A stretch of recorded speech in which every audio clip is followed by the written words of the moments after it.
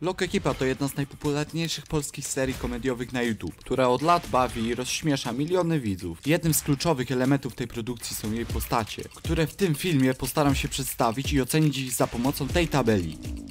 A więc tak, na pierwszy ogień leci pan Wiesio, czyli prawdopodobnie najlepszy majster Grochowa, specjalizujący się w robotach wykończeniowych także i klientów. Jest parodią typowego polskiego fachowca, myślę, że swoją obdarzoną osobowością zasługuje na podium. Ale czy aż tak wysoko, aby sięgnął po złoto? Myślę, że nie, dlatego... Wojtas, a właściwie Wojciech Puczyk, jeden z trzech ziomeczków Grochowa, najodważniejszy bajerant dziewczyn z grupy, które swoje podrywy kończy w ten sposób. No co? Kurwa mać! Nie no, zajebiście nas podszkoliłeś. Kiedyś posiadacz Poloneza, a teraz BMW, przez swój charakter idealnie wpasowujący się w klimat ziomeczków, myślę, że drugie miejsce byłoby dobre. Aczkolwiek postanowię go postawić na trzecim miejscu ze względu na potężną konkurencję. Rudy.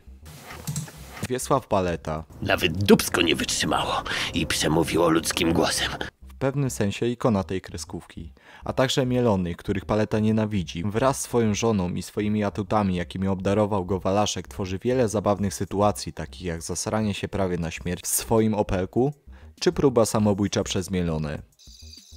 Dość takiego życia. Żegnaj, piękny świecie. Według mnie idealnie wpasowuje się pomiędzy tych dwóch panów, a więc...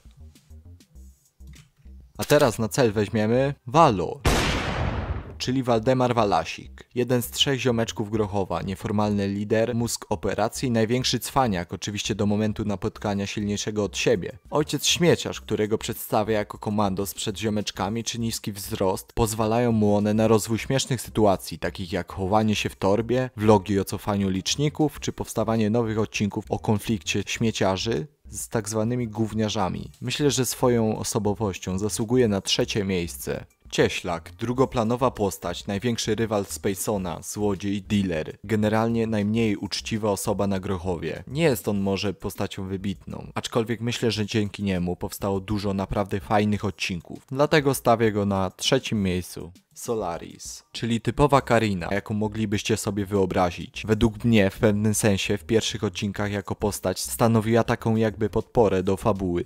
Aczkolwiek ostatnio straciła na wartości, a więc przedostatnie miejsce. No i ostatnią, chyba najbardziej ikoniczną, śmieszną, znaną postacią jest Spacon. Postać ta to parodia mięśniaka uwielbiającego siłownię i branie sterydów, a przy tym niezbyt inteligentnego. I tak naprawdę mógłbym tu mówić o Spaconie bardzo długo. Ale i tak wszyscy wiemy, gdzie jego miejsce.